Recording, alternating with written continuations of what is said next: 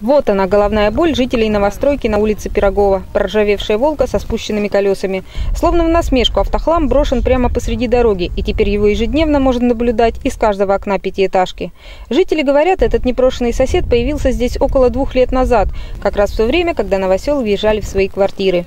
С тех пор «Волга» занимает парковочное место, перекрывает вход на детскую площадку, а зимой еще и мешает работе уборочной техники. Автовладельцы в этом дворе стараются ставить машины так, чтобы можно было проехать а, специально до съезда и после съезда.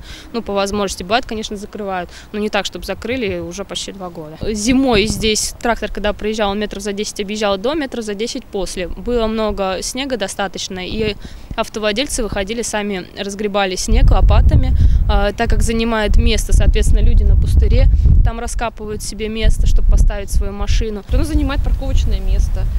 И дети, когда играют, постоянно туда залетают игрушки, мячики. Приходится мамочкам ползать под машину. Соседи здесь дружные, за уютом во дворе следят постоянно. По весне высаживают цветы в клумбы, мусор складывают в урны, а любые поломки на детской площадке устраняют собственными силами. Только качели ремонтировали уже три раза, а вот с автохламом поделать ничего не могут. Обращение в мэрию и в госавтоинспекцию результатов не дали. В преддверии зимнего сезона к хлопотам жильцов присоединились и местные коммунальщики. На каждом подъезде развесили объявление с просьбой убрать гниющий автомобиль. Но оказалось, в этой истории не все так просто. По этой машине могу сказать следующее, что было поручение о проведении проверки э, с ГИБДД.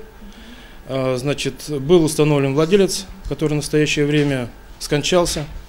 А сотрудникам ГИБДД был дан исчерпывающий ответ. Сейчас, в настоящий момент, да, мы разбираемся по заявлению. Заявление от граждан поступает.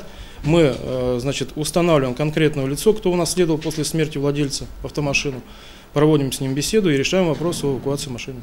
Получается, жителям не нужно было искать обходных путей, а стоило сразу пойти в ближайший опорный пункт и в письменном виде изложить все свои претензии участковому. В ГИБДД такой путь борьбы с автохламом также называют кратчайшим.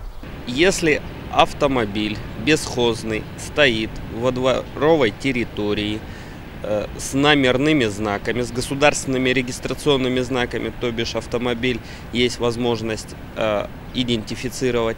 Соответственно, вы можете позвонить в дежурную часть ГИБДД, сообщить об этом, либо вы можете позвонить на телефон доверия управления ГИБДД 30 43 76. Если автомобиль или транспортное средство идентифицировать невозможно.